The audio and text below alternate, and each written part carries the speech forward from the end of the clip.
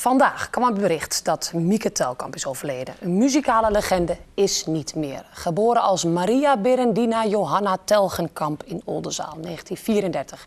Schreef vele hits op haar naam in de jaren 50 en 60. Maar haar grootste hit is onbetwist. Waarheen, waarvoor in 1971. leidt de weg die wij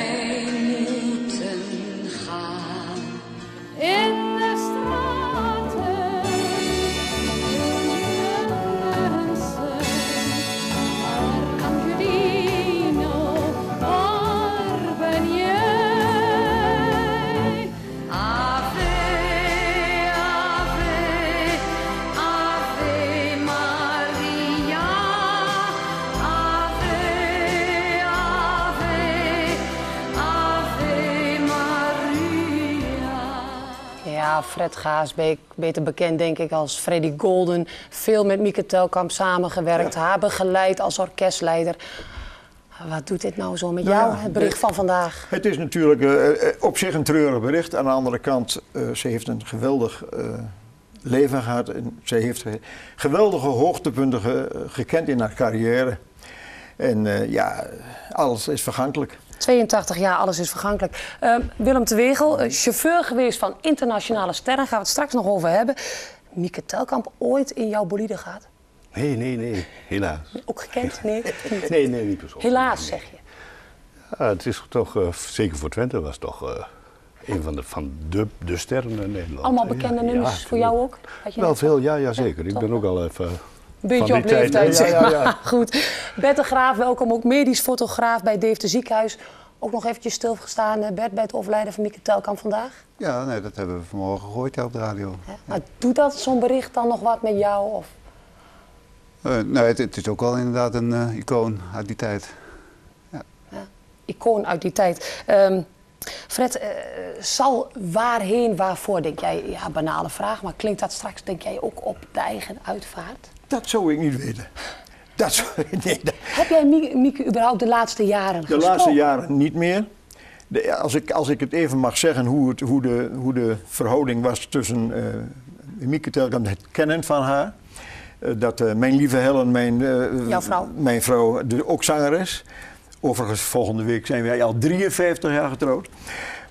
Die nam het stokje over in de tijd bij VND, waar op de factureerafdeling zij werkte.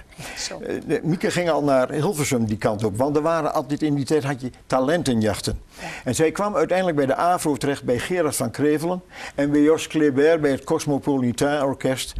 Eh, in de latere jaren heb ik met haar samen in het programma Babylonië gezeten. Wat, eh, wat, je gaat heel snel, hè? Maar Oh. wat was, waarom eh, eh, redden ze het? In die tijd redden niet zoveel artiesten uit Twente het Nee, in was- Hilversum. dat- Wat had Mieke? Dat was, eh, weet je, ze, ze- ze zei van haar, en overigens ook van, van Helen, in die tijd dat ze zongen, hadden ze iets met de stem bijna hetzelfde. Ze oh, dat is net verder in.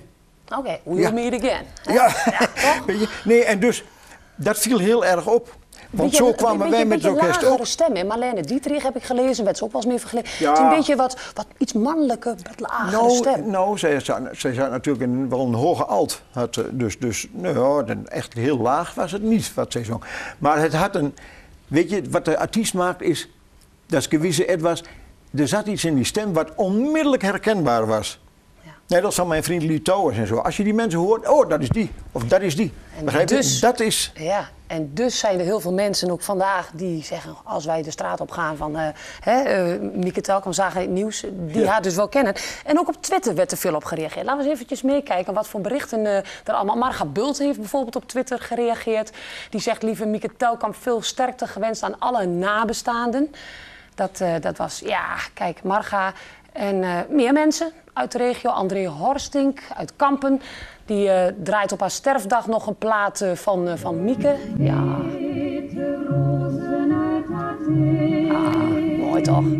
Maakt toch wel wat, maakt toch wel wat los bij mensen. Hè?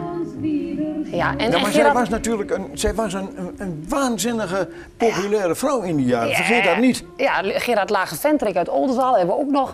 Die zegt eh, meer dan, wat zegt hij, meer dan eh, eh, waarheen, et cetera. Een van de eerste die na 1945 Duitsland inpande. Ja, dat deed ze ook. Bela Sanders, het grote orkest van Bela Sanders, daar zong zij mee. Dat was maar niet zomaar als je dat voor elkaar kreeg. Uh, Maar Mieke Telkamp deed dat. Dat was, een, dat was een populariteit, dat hou je haast niet voor Hoe mogelijk. kan dat dan? Wat is Ja, dat? dat, ja dat- wat ik al zeg, eh, eh, iets in de stem wat, wat plotseling eh, zo aansprak dat iedereen het wou hebben. Dat, dat heb je met, met meer artiesten. Ja, te- terwijl zij was ze echt een ster. Zij had geen sterallures, totaal niet. Nee, nee, was echt nonsens. Ze had geen privéchauffeur zoals Willem bijvoorbeeld Nee. ingehuurd. Dit ze niet? Ja, nee, nee, nee. Nee? Nee, zij was, wij hebben met elkaar in La Coutine in Frankrijk gewerkt. En wat is Eh, La eh, Coutine? La Coutine, dat waren, daar waren in negen, tussen 59 en 65 had je daar de Nederlandse militairen. Die gingen daar oefenen. Ja. La Coutine was eh, wat Johnny en Rijk zongen van eh, het liedje van La Coutine. Ja, ja, ja. Dat weet je maar, nog wel, ja. En dan? Nou, en daar straden wij op s'avonds nog. Eh, Als Mieke Telkamp daar kwam zeggen, dan moet je, daar moet je niet te licht over denken. Die moest haast beschermd worden. Ja, echt? Ja, dat was, dat was waanzinnig. Maar En nu, is, nu, en nu is het, nu heb ik al een, een tijd niet gezien, maar veel meer mensen niet. En ze was het vak uitgegaan. En dan weet je, god, er zijn genoeg mensen die weten helemaal vaker. niet wie. Na de hits in de jaren 50 en 60 ging ze ook een tijdje het vak uit om terug te keren met die grote hit. die Waarheen, grote hit, ja. waarvoor? Ehm, Nou, had ook wel een beetje met haar gezondheid te maken. ja? Jawel. Wat was er met haar gezondheid? Nou, ik dacht dat zij de ziekte van Crohn had. En, en, maar naderhand eh, was het, eh, ja, daar kon ze goed mee om- omgaan en daar was medisch werd het allemaal goed verzorgd. En Gerard Suur, haar man, die begeleidde dat. En ja, nogmaals, eh à la Babylonië, zij deed overal in mee. Ja, kon zij genieten van het succes? Ja, wel. Ja? Jawel. Ja? Was het zo jawel. iemand? Zij was wel een echte, echte, ook een echt artiest. Ja. Ze was eh, trots op, ook op haar hit, op haar werk, maar zeker op haar hit. En daar zei ze het volgende over.